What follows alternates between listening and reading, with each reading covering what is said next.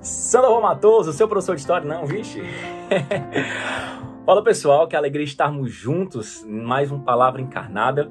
Que momento em que nós da Obra Lumen vamos mergulhar e meditar no Evangelho do dia. Hoje, terça-feira, dia 26 de julho, nós somos convidados então a, em comunidade, abrir o nosso coração, pedir para que o Espírito Santo de Deus venha a nosso favor e nos dê a graça de meditarmos, guardarmos no coração fazermos o discernimento e colocarmos em prática o Santo Evangelho, a Boa Nova, a palavra de salvação e de vida eterna. Para isso, vamos juntos então clamar a presença do Espírito Santo de Deus. Estamos reunidos em nome do Pai, do Filho e do Espírito Santo. Amém. Vinde, Espírito Santo, e enchei os corações dos vossos fiéis e acendei neles o fogo do vosso amor. Enviai, Senhor, o vosso Espírito e tudo será criado e renovareis a face da terra. Oremos, ó Deus que instruíste os corações dos vossos fiéis com a luz do Espírito Santo fazer que apreciemos retamente todas as coisas segundo o mesmo Espírito e gozemos sempre de Sua consolação por Jesus Cristo, nosso Senhor. Amém. Que o nosso anjo da guarda interceda por nós também e nós possamos mergulhar com o coração cada vez mais aberto para acolher a vontade do Senhor em nossas vidas. O evangelho de hoje, meus irmãos, ele está ali no livro de Mateus, capítulo 13, versículos 16 e 17. Hoje nós celebramos né, a solenidade de São Joaquim e Santa Ana, pais de Nossa Senhora. Então também o dia dos avós, né? Que a gente possa colocar os nossos avós em intenção e pedir ao Espírito de Deus essa graça da unidade, da fraternidade. O Senhor esteja conosco, Ele está no meio de nós. Proclamação do Evangelho de Jesus Cristo, segundo Mateus. Glória a vós, Senhor. Naquele tempo, disse Jesus aos seus discípulos: Felizes sois vós, porque vossos olhos veem e vossos ouvidos ouvem. Em verdade vos digo, Muitos profetas e justos desejaram ver o que vedes e não viram. Desejaram ouvir o que ouvis e não ouviram. Palavra da salvação. Glória a vós, Senhor. O evangelho de hoje é super econômico, é quase uma palavra de vida do Focolares, né? Um versículo, no caso foram dois. Mas olha que interessante essa reflexão que o Cristo nos faz. Ele chama os seus discípulos e fala diretamente para eles, ele não fala para a multidão. Ele não fala para os fariseus, ele fala para os discípulos. Então é uma frase, é, na verdade são duas frases, né? São dois versículos em que Cristo se dirige para os seus discípulos numa formação.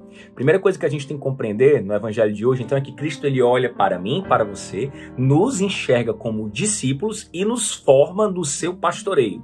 E qual é a formação no pastoreio de Jesus Cristo? Não é um anúncio querigmático, não é um enfrentamento anunciando a verdade para os fariseus ou uma correção. Não, é uma formação dentro do pastoreio de Cristo. Cristo, então, hoje quer me formar e quer te formar, alertando-nos justamente isso Felizes sois vós. Ou seja, Cristo vem anunciar a alegria, uma alegria verdadeira, uma alegria própria daqueles escolhidos naquele tempo. Felizes sois vós, porque os vossos olhos veem e os vossos ouvidos ouvem. Quando Cristo e a tradução aqui da palavra vai trazer o ouvir e o ver, a gente pode aprofundar nisso. Não tem uma tradução muito perfeita, mas existe uma diferença entre o ver e o enxergar.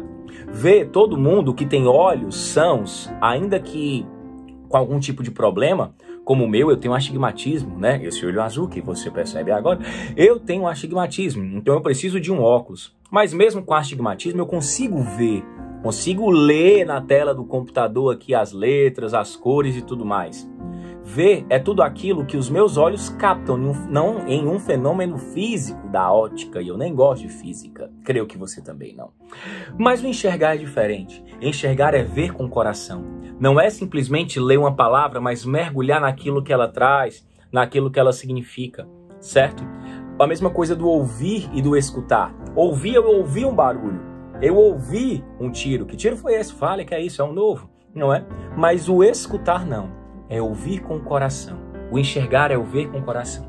Cristo, ele chama os seus discípulos e diz: Felizes sois vós, porque os vossos olhos veem, ou seja, os vossos olhos enxergam, os vossos ouvidos ouvem, ou seja, os vossos ouvidos escutam. Eu, o amor, a boa nova. Em verdade eu vos digo, aí ele pede aquele argumento de autoridade, né? Em verdade eu vos digo, que muitos profetas e justos desejaram ver o que vocês veem, mas eles não viram, e desejaram ouvir o que ouvis, e não ouviram. Já imaginou?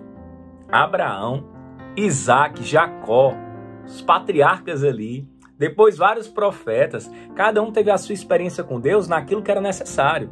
Muitas vezes alguns de nós falam, ah, eu queria ter vivido naquela época, ah, eu queria ter experimentado isso, ah, eu queria ter passado isso. Não, mas nós temos é o hoje, é o agora, nós fomos criados e nossa missão está dentro desse século 21, porque para nós o encontro perfeito com Deus é aqui nesse momento, é nessa realidade, é dentro de um carisma, é na minha missão, é naquilo que eu sou chamado. Olha que coisa interessante, é aí na sua casa, é no seu matrimônio, é na vida é, é, é fraterna, na comunidade de vida, é dentro do seu ministério, é aí onde você, aliança, é colocado aí chamado a ser luz, é você que está passando por essas novas experiências da comunidade. Então, Cristo ele vem alertar os discípulos para valorizar o que eles têm e o chamado deles agora. Ele não está dizendo que essa é a melhor forma, né? Não, é a melhor forma para Pedro, Tiago e João era essa que Cristo anunciou. Felizes vocês que, que veem e ouvem.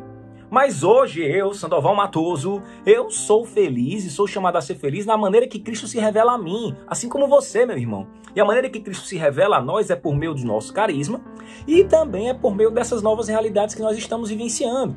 Por meio da palavra encarnada, por meio da vivência sacramental, que tudo revela a presença do nosso bom Deus. Então, que nós possamos ter a, o coração sereno e, e, e, o coração certo e claro de que o, o melhor de Deus para nós é o hoje, é o agora, é a maneira que ele se apresenta para mim de muita, com muita misericórdia. Então é interessante isso, né? Cristo nos convida a nos feliz, né? nos alegrar, a encher o nosso coração de felicidade, com muita verdade, para valorizarmos o agora. Felizes somos nós, Obra Lumen, que vemos o Cristo abandonado, que vemos muito mais do que um irmão morto, um irmão ali é, é, sofrido e tal. Nós enxergamos ali o amor, nós enxergamos a ressurreição, nós escutamos o Cristo ressuscitado clamar no coração de cada um, jovem, família, né, irmão, qualquer um desses, nós somos convidados a ver, a ouvir, a enxergar e a escutar. Nossa Senhora então nos cubra com seu manto de amor e nos dê a graça de permanecermos sempre firmes nesse chamado, entregando de maneira especial os nossos avós, que também são fonte, né, não só de memória, não só de história, mas fonte também desse amor de Deus por nós. Ave Maria, cheia de graça, o Senhor é convosco. Bendita sois vós entre as mulheres e bendito é o fruto do vosso ventre, Jesus. Santa Maria, Mãe de Deus, rogai por nós, pecadores, agora e na hora de nossa morte. Amém. O amor nossa meta, Cristo é nossa luz, em nome do Pai, do Filho e do Espírito Santo. Amém. Valeu, Obra Lumen!